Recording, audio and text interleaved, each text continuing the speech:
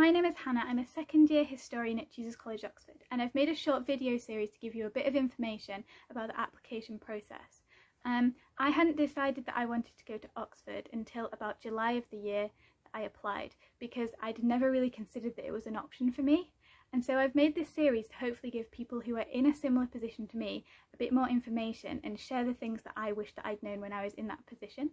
So the first thing that I want to share is the fact that anybody can go to Oxford. Um, I hadn't really thought that it was an option for me until one of my teachers suggested that it was something that I could do. Um, and I'm suggesting to you now that it's something that you can do too. So a lot of the information in these videos is kind of behind the scenes information or information that I hadn't been told before I applied.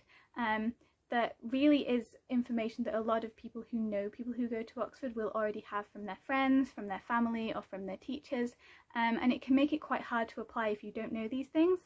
Um, so I've broken down a couple of things that I wish I'd known um, and I'm hopefully sharing them with you um, to help you know that Oxford is a place for everyone. It's something that you can do no matter what background you're from and that it's something that you can um, choose to apply for um, no matter where you are at the current moment.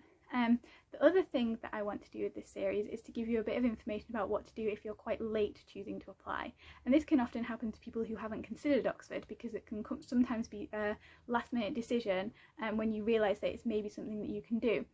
So because I decided to apply to Oxford only a few months before I actually had to put my application in, it felt quite overwhelming. Um, and so as a result, I've given you some tips throughout this series about how to do things if you're short on time, um, the best way to focus your attention, and also just to remind you that even if it is quite late in the day, um, it is still an option to apply to Oxford for you. If you have any questions or you have anything extra that you want to know, feel free to comment it on any of the videos. Um, and I really hope that this series is useful for some of you and that encourages some of you to apply to Oxford too.